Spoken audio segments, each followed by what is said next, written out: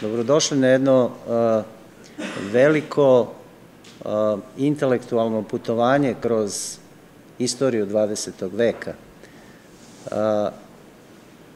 Tema je, kao što je koleginica rekla, geopolitika, dakle, zahvaljujući Kulturnom centru Novog Sada, otvaramo jedan ciklus razgovora o geopolitici, naučnoj disciplini koja je bila dugo zvanično, dugo javno proskribovana, a koja je praktično od 90. godina 20. veka smisao i suština svih velikih tektonskih poremećaja koje su se desile i tako da je geopolitika i danas, čini mi se, aktualnija nego u vreme kada je, kada je nastajala.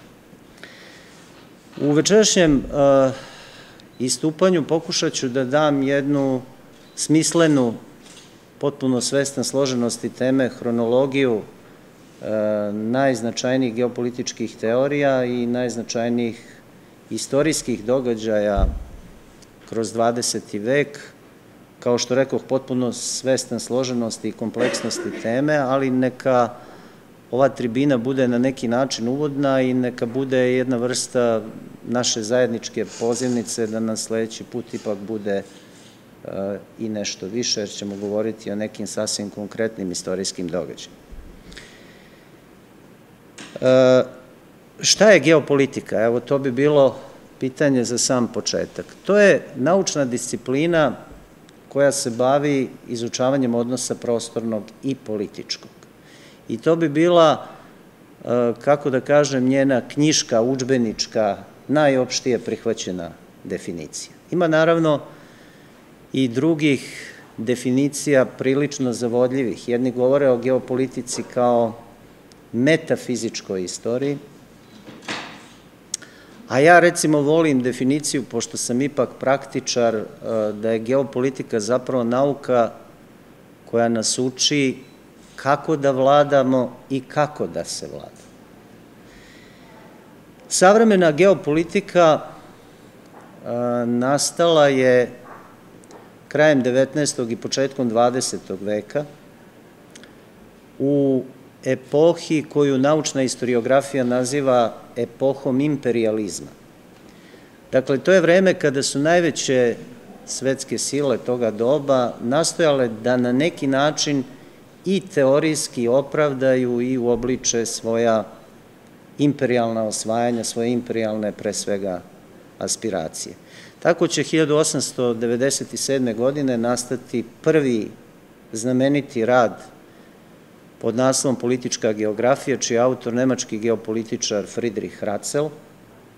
Nakon toga će kao odgovor na Ratzelove geopolitičke nemačke teorije nastati e, francuske geopolitičke teorije Vidal de la Blaša, jednog velikog geopolitičara koji je napravio veliku uslugu geopolitici kao nauci upravo zbog toga što je revidirao na neki način determinističku školu nemačke geopolitike, okrenuši je ka posibilizmu. Reč posibilizam znači a, mogućnost, dakle on je prostor posmatrao kao mogućnost, a u središte svojih istraživanja je postavio čoveka, ali je nakon toga zapravo nastala ova sadašnja savremena geopolitika i tekst koji je na neki način kamen međaš u svim budućim geopolitičkim istraživanjima bio je tekst uh, Halforda Johna Makindera pod naslovom Geografska osovina istorije. Taj tekst je objavljen 1904. Uh, godine u geografskom časopisu u Londonu i ja bih rekao da sve ono što se posle toga u teorijskom smislu dešavalo u geopolitici i praktičnoj politici nije ništa drugo nego variacija na osnovne postavke Makinderove teorije. Dopustite mi da se, e, baš zbog važnosti i značaja Makindera, osvrnem u nekoliko na osnovne postavke, osnovne teze njegove teorije. Makinder je pre svega bio poznat geograf tog doba, poznati antropolog, profesor na Oksfordu, osnivač Londonske škole ekonomije, priznati naučnik i čovek koji je nesumnjivo bio uključen u sve javne i tajne karakteristike britanske politike toga doba. On je bio između ostalog i član mnogobrojnih tajnih društava toga doba, tako da je pišući geografsku osu istorije Makinder zapravo govorio, ja bih se ipak usudio da kažem ne u svoje lično ime, nego u ime establishmenta toga doba. On je, posmatrajući planetu kao celinu, posebno analizirao, kako je napisao u tom ne baš velikom radu, ali toliko značajnom, Svetsko ostrvo. Svetsko ostrvo je zapravo evroazijski kontinent, dakle Evropa, Azija i Afrika kojima se posebno bavio. On je smatrao da je za jedan političko-geografski položaj jedne države centralnost njena najvažnija i najbolja osobenost, najbolja karakteristika i analizirajući čitav evroazijski kontinent kao jedan Britanac, osmislio teoriju središnje zemlje, odnosno Heartlanda, analizirajući Evroaziju, to jest dajući poseban značaj prostoru tadašnje Rusije, koja je po njemu geografska osovina istorije, i Nemačke. Makinder je zapravo na neki način kroz geografsku osovinu istorije, kako bih rekao, osmislio scenariju i prvog i drugog svetskog rata. Zašto je on smatrao da je e, zemlja koja ima kopneni položaj u boljoj poziciji odnosu na jednu pomorsku silu kao što je bila Britanija? Zato što s jedne strane ta centralnost joj omogućava bezbednost, sa druge strane osvajanje resursa i sa treće strane što je njega kao Britanca posebno užasavalo izgradnju moćne uticajne e, vojne i trgovačke flotile. Britanci to nipošto nisu smeli da dopuste.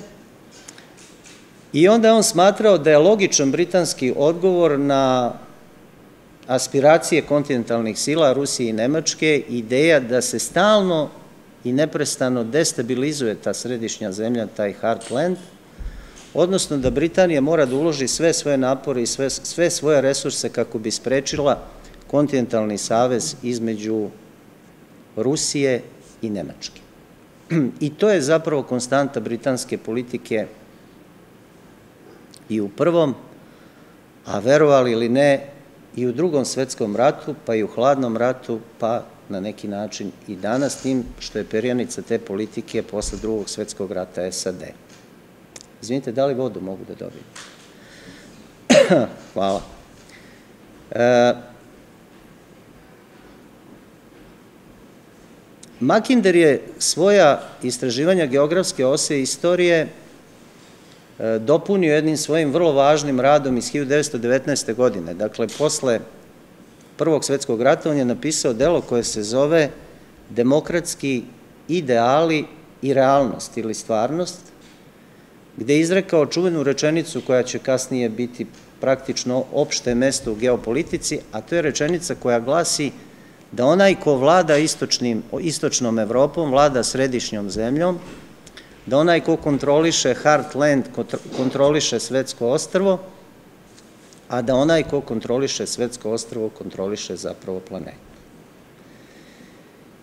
I zaista Kada analizirate procese koji su se dešavali e, nakon toga, posebno posle Versajske konferencije 1918. pa 1919. pa uspon Trećeg rajha i na kraju kraj drugog svetskog rata, vi ćete videti koliko je Makinder bio u pravu. Ja vas sada ne bih e, zamarao čitavim nizom tajnih sastanaka i tajne diplomatije koja je trajala E, tokom drugog svetskog rata kako bi se zapravo sprečilo povezivanje Rusije i Nemačke, odnosno kako bi se nakon napada Nemačke na Sovjetski savez uspostavila jedna vrsta sanitarnog kordona od Poljske do Balkana. Ja moram da, da, da kažem da smo mi, nažalost, ističem nažalost zato što nismo imali jednu obrazovanu geopolitičku elitu u neke od tih projekata verovatno nesvesno bili uključeni i potpuno suprotno našim nacionalnim interesima. Posle drugog svetskog rata situacija se donekle menja, dakle stvaranje Sovjetskog saveza u nekoliko tera zapadne, pre svega geostrategije, da revidiraju teoriju Heartlanda Makindera, ali je to prosto jedan privremen događaj, jer i u vreme hladnog rata, ja sam to malo pre rekao i ponavljam sada i pred vama, iako javno proskribovana geopolitika se kao nauka koja se bavi izučavanjem, ponavljam, odnosa prostornog i političkog, i tekako istražuje u tajnim institutima i SAD i Sovjetskog saveza. I možemo sada slobodno da kažemo, kada su na mnogi ishodi poznati, da je zapravo taj ideološki sukob između demokratije i komunizma bio obična maska, da se zapravo ispod pokorice te ideologije, ideološkog sukoba zapravo dešava jedan klasičan geopolitički sukob sa svim svojim karakteristikama, a to nam je postalo jasno od 1990. do danas, kada zapravo e, pre svega na zapadu u odnosu prema istočnoj Evropi, koja je sada pod njenim okriljem, pa i Sovjetskom savezu, odnosno Rusiji, u potpunosti preuzimaju Makinderov obrazac.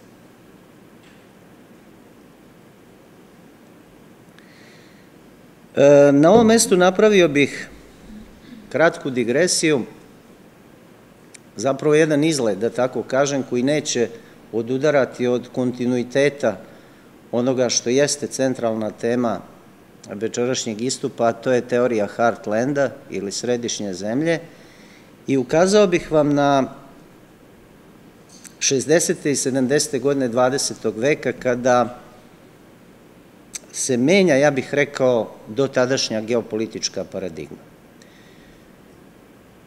Šta je, šta je razlog tih dramatičnih promena? Pre svega 60. godine su godine fenomenalnih naučnih i tehnoloških otkrića. To su godine kada se, ja bih rekao, svet suočava sa fantastičnim promenama. Dakle, oni koji su stariji večera su prisutni, sećaju se one slike jedinstvene planete koja je slikana iz kosmosa i na neki način, pošto Zapad vodi čitavu tu geopolitičku bitku, Sovjetski savez u priličnoj meri zaostaje iz opet razloga koje ne bih objašnjavao ovom prilikom. Dakle, e, menja se dakle prosto paradigma pogled na planetu. Planeta se sve više na zapadu posmatra kao jedinstveni svet. Čovečanstvo je jedinstveno i onda se u neki ideološki diskurs uvodi jedna nova ideološka paradigma, a to je globalizacija. Globalizacija je formalno posmatrano zapravo jedan novi internacionalizam koji se kvalitativno razlikuje u odnosu na dotadašnji stari prvenstveno po odnosu prema državi. Dakle, e, globalizacija počinje polako da državu, dakle, koncept globalizacije u međunarodnoj politici počinje polako da državu stavlja po strani i da prednost daje, da tako kažem, elitističkom i zakulisnom sporazumevanju pre svega zapadne političke, ekonomske i privredne elite. Globalizacija iz toga doba, međutim, konkretno u samim Sjedinjim američkim državama je jedna vrsta iznuđenog odgovora na izazove tamošnje unutrašnje politike. Tamo se dešava vijetnamska kriza, ogromna socijalna nezadovoljstva. U zapadnoj Evropi se dešava 1968. godina, prosto dešava se nešto potpuno neočekivano, a to je kriza kapitalizma. To je vrlo interesantno kako se istorija ponavlja u ciklusima i danas o toj krizi kapitalizma govorimo.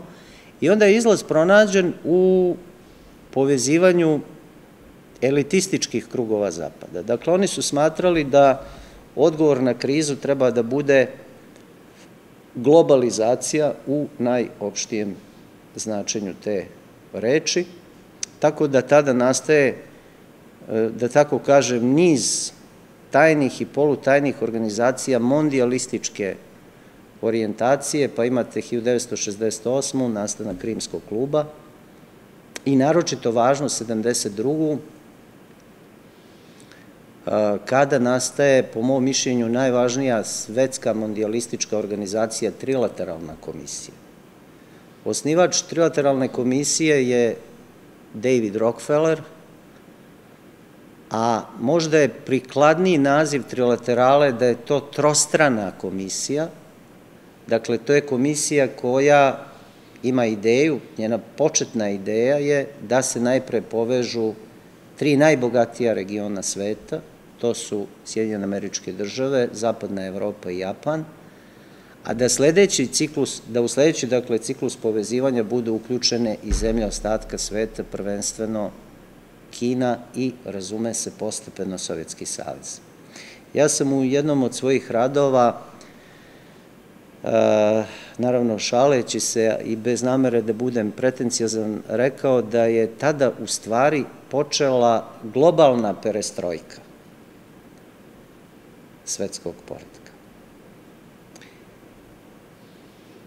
Naravno, e, e, kako bih rekao, ideje su jedno, stvarnost je drugo. U sudaru sa stvarnošću ideje trilaterale ili trostrane komisije nisu se baš tako lako probijale, uprkos činjenici da je krupni transnacionalni kapital zapravo stajao iza jednog u suštini mondialističkog projekta. Zbog toga je negde krajem 70. godina i početkom 80. Eh, trilaterala pokazala i izvestan pragmatizam u odnosu na idealističke ideje s kraja 60. i početka 70. godina. Dakle, bilo je jasno da se te ideje mondializma, levo-liberalne ideje, ideje jedinstvenog sveta ne mogu ostvariti preko noći, da postoje mnogi otpori, pre svega u Sovjetskom savezu, naravno i u zapadnoj Evropi, koja ima vrlo jaku nacionalnu svest, pa i u Sjedinjenim američkim državama gde je taj koncept posebno kritikovan od strane tradicionalnih konzervativaca. I tada trilaterala dolazi do zaključka da je umesto jedne teorije konvergencije, znači postepenog evolutivnog prelaza na jedan jedinstveni svet, na svetski privredni sistem, potrebno ubrzati prikrivene tajne aktivnosti radi rušenja istočnog bloka Sovjetskog saveza i kasnije Rusije, radi ovladavanja Heartlanda. Dakle, u čemu se sastoja taj pragmatizam?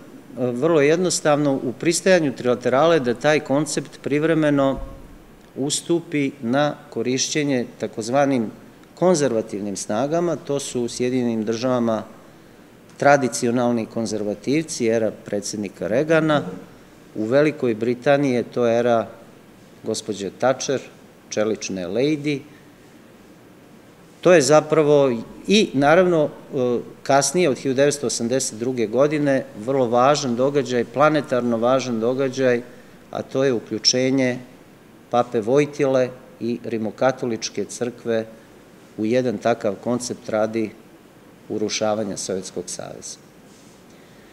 Pragmatizam trilaterale nam je poznat jer je on došao do, kako da kažem, izražaja krajem 80. godina kada se na Sredinom 80-ih na političku scenu pojavljuje Mihajl Gorbačov. E,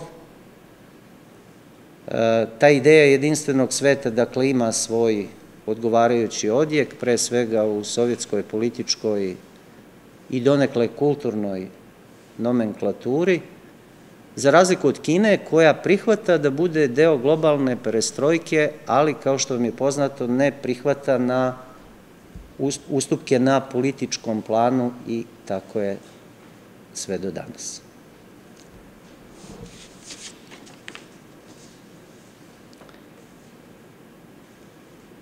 Završetkom hladnog rata svetsku političku scenu potresa takozvani globalni nered. Ovo nije naravno autentično moj izraz, upotrebio ga je urednik poznatog francuskog časopisa Le Monde Diplomatique Ignacio Ramone, opisujući zapravo sveto nastajanje.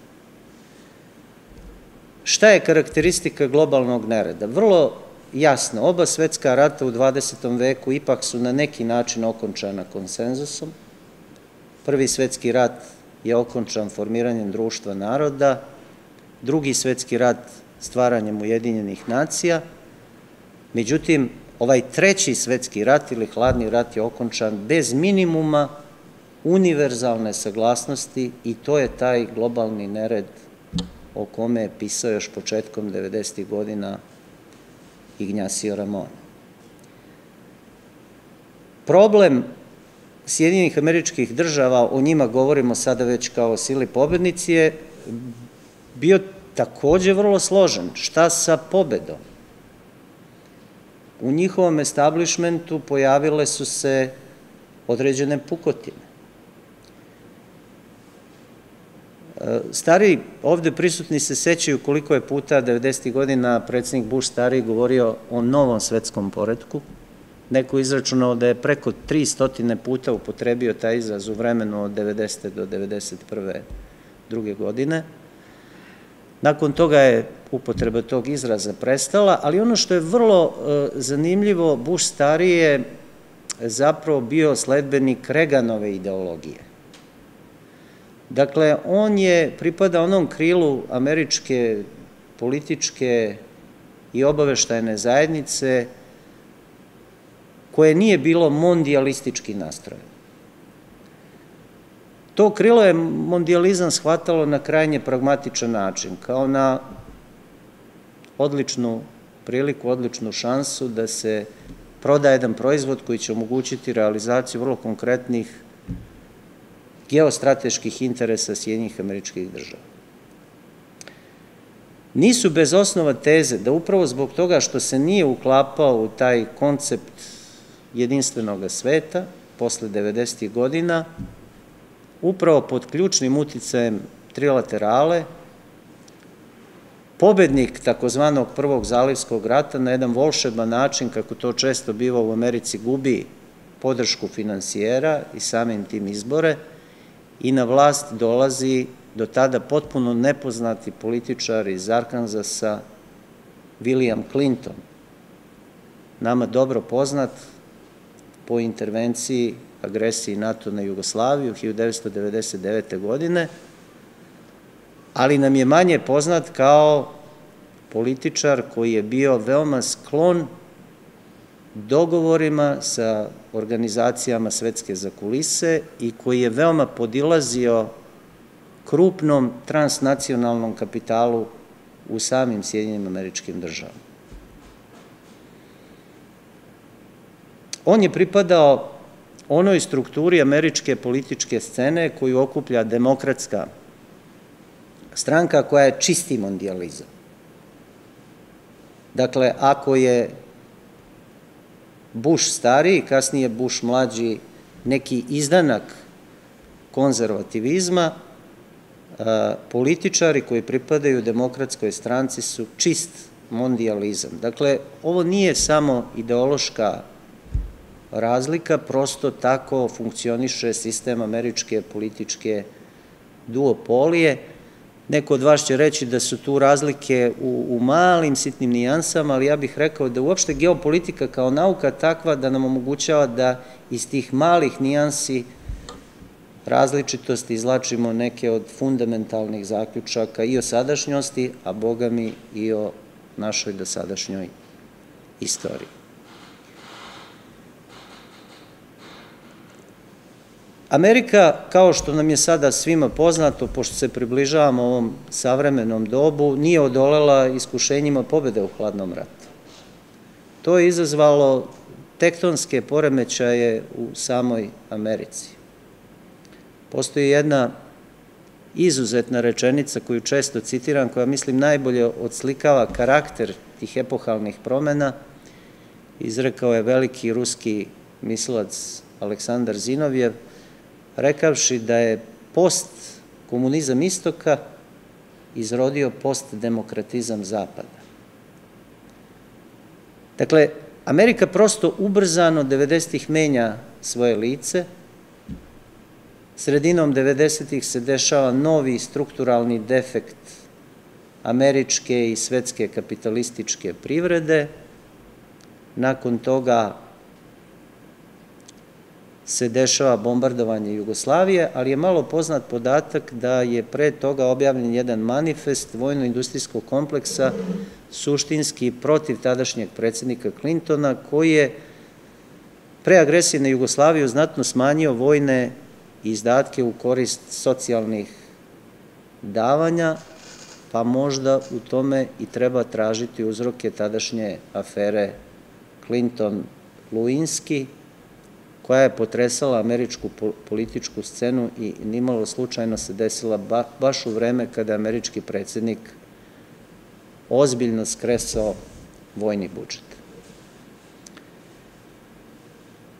U Americi se, a kasnije u ostatku sveta, desila još jedna vrlo važna promena koja je prošla gotovo neopaženo zbog jedne žestoke hladnoratovske retorike i konfrontacije. Desila se privatizacija vojno-industrijskog kompleksa. To je iz osnova promenilo prirodu i karakter ratova u poslednjih 30 godina. To je jedna vrlo složena, vrlo kompleksna tema, ali ona umnogome objašnjava ono što se zapravo dešava u svetu posle 1990. godine. Dakle, dešava se jedan proces militarizacije svetske politike. Tu nema nikakve dileme. Jedan vojno-industrijski kompleks koji je moćan, koji je uticajan, se prosto nalazi u jednom, pošto je sada pobedio u hladnom ratu, jednog zamišljenog protivnika bez ispaljenog metka, u jednom grozničavom traganju za novim neprijateljima. I možda upravo u tim uzrocima treba tražiti objašnjenje događaja od 11. od 11. septembra. Neću ništa da tvrdim, ali postoje vrlo ozbiljni američki autori koji dovode zaista ozbiljno u pitanje e, zvaničnu verziju 11. septembra. I konačno, pošto smo malo pretrčali e, savremene događaje zato što pretpostavljam da su nam prilično poznati, dolazimo do nove epohalne promene koja se u svetskoj političkoj arhitekturi desila 2008. godine. To je vrlo značajna godina. Kada je Amerika priznala nezavisno Kosovo, kada je još u junu mesecu 2008. bilo jasno da će se desiti nezapamćena svetska ekonomska i finansijska kriza koja je primarno kriza koncepta neoliberalne demokratije i ekonomije, dakle to koncepta opšte privatizacije i ono što je najvažnije, u avgustu te godine desit će se prvi put posle završetka hladnog rata ruska vojna intervencija u Abhaziji i Južnoj Osetiji. Dakle, prvi put su ruski vojnici intervenisali formalno izvan granica sadašnje Ruske federacije i od tog trenutka svet se nezadrživo kreće ka jednom drugačijem smeru, smeru više polarnosti. Rusija je tom intervencijom i kasnijim svojim ponašanjem u međunarodnoj politici pokazala da je bitka za Heartland, setimo se početka priče, i danas više nego, više nego aktualna.